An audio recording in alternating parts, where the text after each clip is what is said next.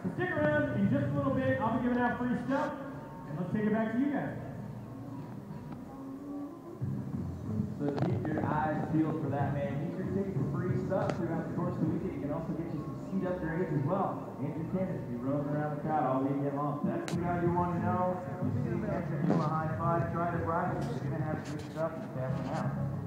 Well, we talked about uh, the lineup a little bit here. We talked about how we cut the field down from 27 yesterday down into the 15 we have here, plus last year's defending Dew Cup their champion, uh, Dennis Enarson. Let's talk a little bit about the course right now. This is definitely a lot different than what we've seen in dirt courses in the past couple years on the Dew Tour. Well, this is so cool. This is every rider's dream. San Francisco, in the heart of the city. Isn't like the outskirts, of the heart. We have City Hall right here. It's so cool to see this course. We're brought in dirt, we're brought in everything else. And it's designed by TJ Lavin.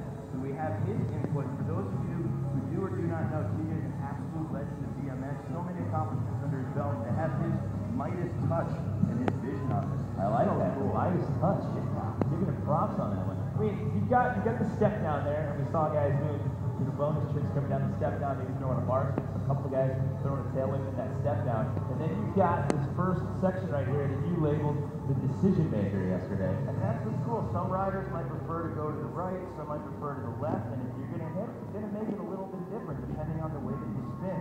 So it's really cool. It's a huge gap. It's a 25 foot gap that you're coming across.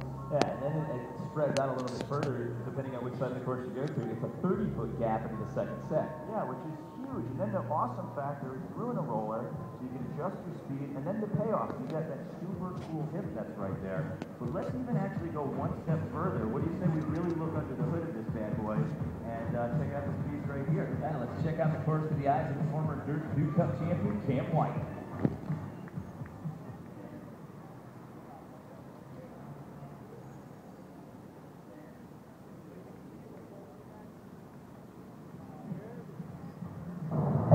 I'm, I'm Cam White here at uh, San Francisco Dew Tour, and uh, we're out here in the dirt course for the first look, so uh, let's go check them out.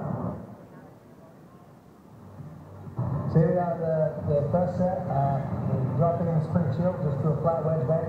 Um, dude's probably going to try some tricks on it because you get plenty of speed for the first set, so it's uh, going to be pretty cool to check that out. And then here's the first set. It's about a seven foot tall takeoff.